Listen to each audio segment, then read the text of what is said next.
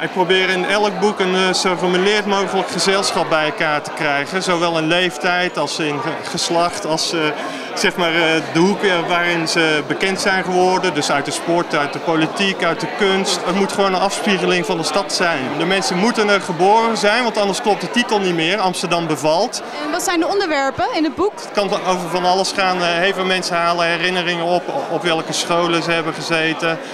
wat dan ook. En, maar het thema is gewoon Amsterdam. En wat ik wel probeer te vermijden natuurlijk in deze verhaal is dat niet alle 30 mensen gaan zeggen dat de grachtengordel zo mooi is. En dat moet je een beetje voorkomen, want om dat 30 keer achter elkaar te lezen, dat uh, schiet niet op denk ik. Hoe is de samenwerking met Corpino geweest? Ja, ik heb er helemaal geen omkijken naar gehad. Het was echt geweldig om met hem samen te werken. En hij heeft prachtige mooie foto's gemaakt. Ik denk, denk dat het vanaf het begin heel erg goed gelopen is. En, ehm, we hadden allebei, uh, hij had een soort tijdspanne van een jaar in, in zijn gedachten. Uiteindelijk zijn we twee jaar lang met elkaar in de slag geweest om dit uh, tot een goed einde te brengen. Maar uh, ik ben heel erg blij met het resultaat.